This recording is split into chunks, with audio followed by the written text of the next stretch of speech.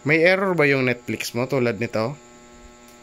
Gusto mo mag-play ng content, tapos magpe-play siya ng saglit, at magkakaroon ng ganito. And gusto mo mag-log out, pero hindi mo siya mahanap dito sa menu. Yan, pansin nyo, wala yung log out. Yeah. So, kung kayo naka-smart TV, back mo lang saglit, ito lang yung kailangan mong gawin. Uh, dun sa aking remote or sa scroll wheel mo,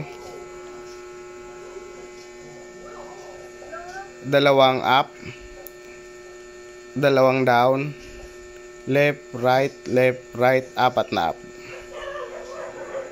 And, yun na.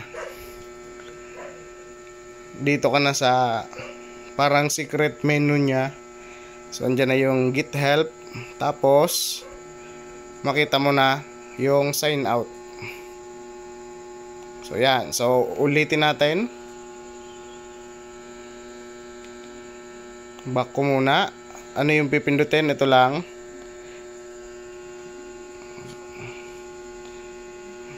Up, up, down, down, left, right, left, right, apat, 1, 2, 3, 4. And yon.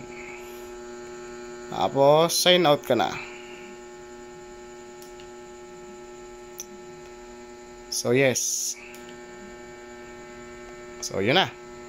Nakapag-sign out ka na ngayon and ready na siya para sa login ng bagong account. Double check lang natin to confirm. So, yan. Naka-log out ka na. So, ganun lamang.